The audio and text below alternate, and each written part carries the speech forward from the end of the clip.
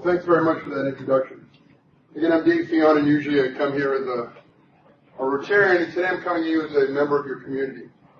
I was born in Woburn, and brought up on 1030 Main Street.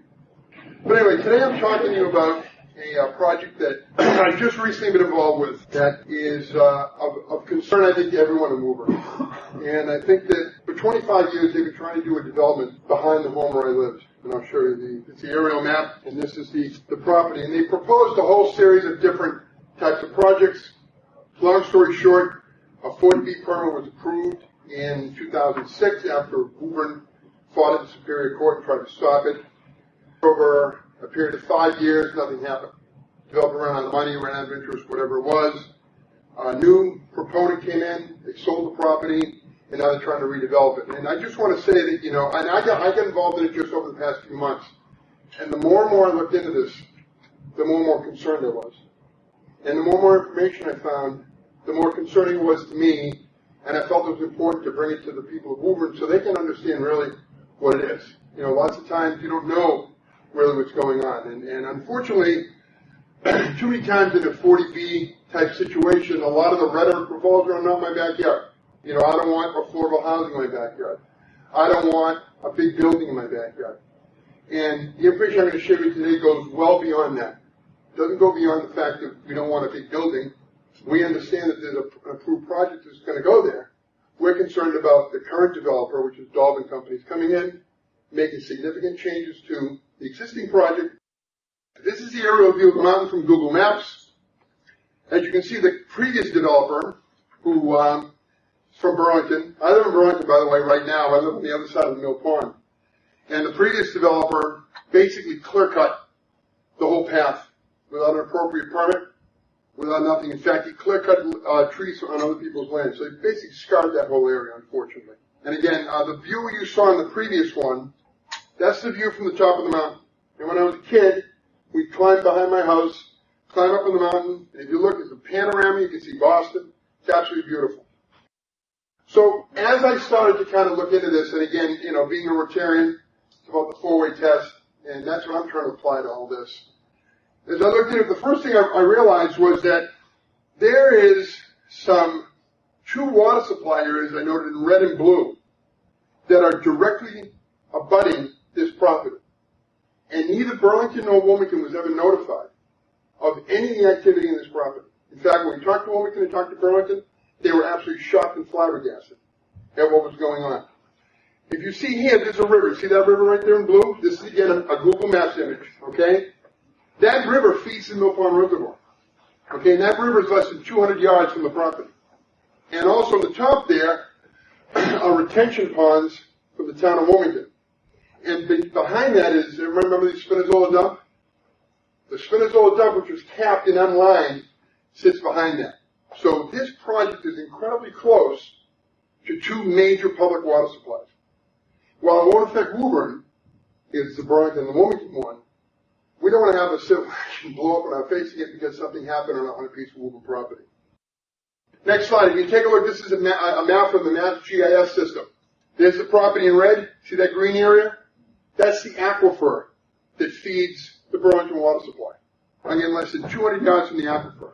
the developer is proposing to lower this mountain 75 feet. Their current proposal is going to take 411,000 cubic yards of rock out of this.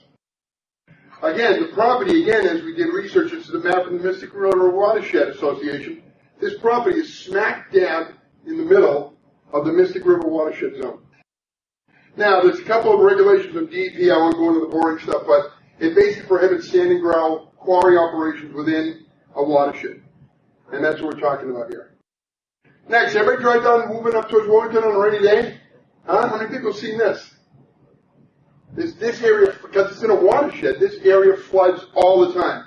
This is a picture taken a couple of Tuesdays ago when we didn't have a very big rainfall. Looking north, the subject property is right there on the green, where the green bushes are. Now, what they're thinking of doing is they're going to increase the total space on the top of the mountain by 400%. Instead of one building, they're going to build four buildings.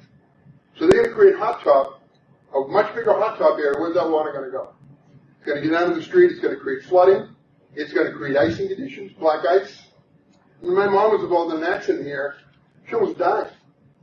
She slipped on, this area was flooded, she got black ice, she spun out, she went over the embankment. It was only, remember the old, uh, railroad guard, uh, the guardrails with the wires? She get held up by the guardrail and the wire. The car was like this. She didn't have that guardrail, she would have flipped the car over. This is the thing that came to light in our last ZBA meeting. Um, Representative Jim Miceli, who represents Wilmington, sent a representative there, a former selectman in Wilmington named Suzanne Sullivan, to speak. This, and I was like, when she said this, I was like, well, what do you, what do you mean? We are less than a, three quarters of a mile away from an earthquake fault zone. This is called the Bloody Bluff Fault Zone. So what is two years of dynamiting? I mean, would you go to the San Andreas Fault and start blasting away less than a mile away from the San Andreas Fault? Probably not. We're less than a mile away from the Bloody Bluff Fault Zone. But the other thing is, to the north of this property, you ever heard of the Olin site? Wilmington, there was a huge contamination pool as you head north off of Eames Street. Well, Suzanne Sullivan is the vice president of WERC, which is a committee designed to kind of take care of that site. She said that the contamination crept into all the crevasses in this fault. And her concern is that if we start blasting, that contamination could get released into God knows where, into the public water supply, which is right here. The other one of the issues is, is that when they're gonna, we're gonna, they, they, the developer is gonna be loading up tri-axle trucks. It's gonna take sixteen thousand truck trips to take the material off the site. Which, by the way, they, they're not gonna keep, they're gonna keep very little in the site, less than five percent. And they're gonna truck that to a processing facility, and we estimate they're gonna get about six point two million dollars in profit from selling the material to the site. This is a, this is a, a sign on Route thirty-eight that limits the truck traffic to twenty-five tons. Those trucks will be fifty tons. So either they're gonna be half loaded, or guess which way they're gonna go? Back into Woburn. Right now, there's a condition on the, on the approval permit that says they're gonna go north to Wilmington, because that's where they're gonna end up, they're gonna end up in the Wilmington North Reading line. But if, if that, if that, that road goes, they're gonna turn and they're gonna go to Woburn.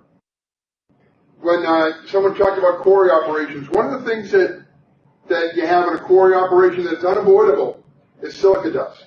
Whether they just merely remove the rock and load it into a truck, or whether they process it on site, you have silica dust, it's inevitable.